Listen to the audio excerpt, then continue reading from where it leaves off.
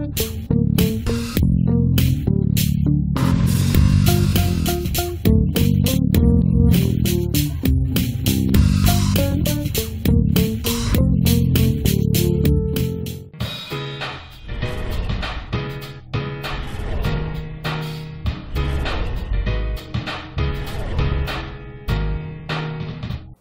Olá pessoal, tudo bem? Meu nome é Eduardo Beltrame, sou consultor técnico de panificação e confeitaria. Hoje estou aqui na maravilhosa revista Padaria 2000. Vou preparar algumas receitas de Páscoa, muito chocolate para vocês. Vou fazer algumas coisas fáceis para trabalhar, realidade do dia a dia, que você possa realmente colocar a mão na massa. O primeiro bombom que eu vou fazer para vocês, que eu vou apresentar, é um bombom chamado Fudge de cereja. É uma massa de chocolate né, vamos rechear essa massa de chocolate com cereja e fazer uma decoração bacana. Tá? Espero que, você, que vocês gostem dessa receita.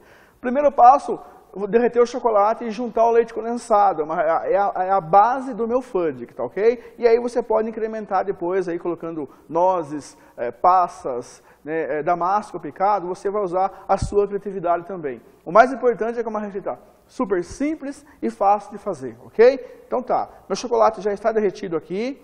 Vou fazer o quê? Juntar o leite condensado e misturar muito bem, ok?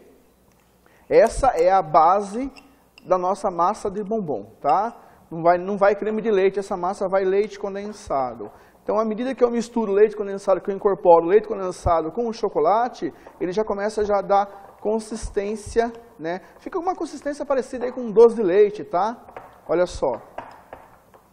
Tá pronto a nossa massa já que, que eu vou fazer agora? Eu vou colocar essa massa, vou levar para esfriar um pouco, porque ela vai dar consistência para que eu possa enrolar. Se você quiser agregar alguma carga aqui, por exemplo, coco, né, é, coco, é, farinha de pistache, farinha de amêndoas, você pode incrementar, tá ok? Você pode acrescentar nessa receita aí. No meu caso, como o bombom vai ser recheado de cereja, não vou colocar nada, ok? Então, ó, já deu consistência em minha massa, vou levar para esfriar. Uh, não tem um tempo adequado, mas é mais ou menos assim uns 30, 40 minutos aí na geladeira, até que fique bem consistente para enrolar, tá ok? Uma receita simples, fácil, tenho certeza que você vai elaborar no seu dia a dia.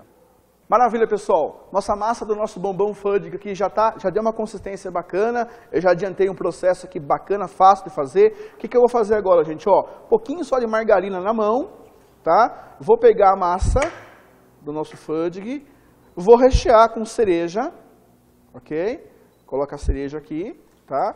Vou envolver toda a cereja, bolear, tá ok? Vou deixar ela dar uma descansadinha de uns 10 a 15 minutos aí para fazer uma decoração final que eu vou usar o corante Gran Chef, tá? dissolvido com manteiga de cacau para a gente fazer uma decoração bacana no nosso bombom aqui, ok? Então já já que eu já vou trabalhar nessa decoração aqui. É um bombom simples, rápido, prático para fazer, tenho certeza que vai ficar show de bola na sua vitrine. Maravilha, pessoal. Olha, nossa massa já está linda, gostosa para banhar. Eu tenho aqui chocolate branco. Quem quiser trabalhar com cobertura, pode ser cobertura também. Agora, simples, tá? Vou fazer o quê? Pegar o bombonzinho, banhar no chocolate, cobrir ele totalmente com chocolate branco. Né? Eu quero dar esse contraste realmente escuro com branco, tá? Então, ó, tiro o excesso dele e coloco ele para secar, tá ok? Fica show de bola essa receita aqui, pessoal. Deliciosa mesmo. Vale a pena você pegar e fazer esse bombom aqui, tá? Esse bombom fudge aqui. E ainda vou decorar ele. Você vai ver que espetáculo que vai ficar esse bombom aqui, tá ok?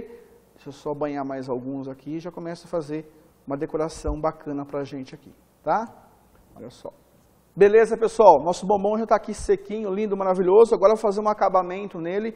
O que, que eu tenho aqui, gente? Ó, nada mais, nada menos que manteiga de cacau derretida e eu acrescentei o corante Grand Chef vermelho aqui para ficar um contraste bonito agora. Tá? Uma decoração moderna e simples para trabalhar. Isso que é importante, tá? Vou pegar um pincel, tá? Vou mergulhar aqui na, na manteiga de cacau já tingida com corante, ok? E vou né, fazer jogar por cima dele aqui, dando aí um, uh, um aspecto moderno nesse bombom, né? uma cara bacana, né? olha só que legal que fica.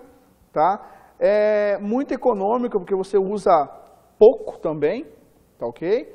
E olha só que bacana que ficou o nosso bombom aqui, tá? Vou cortar um para vocês ver como é que fica uh, o interior desse bombom aqui, né? Olha só, uma massa simples, rápida, tá ok? E olha o resultado final do nosso bombom fudge. Espero que vocês tenham gostado dessa receita e uh, façam no seu dia a dia aí.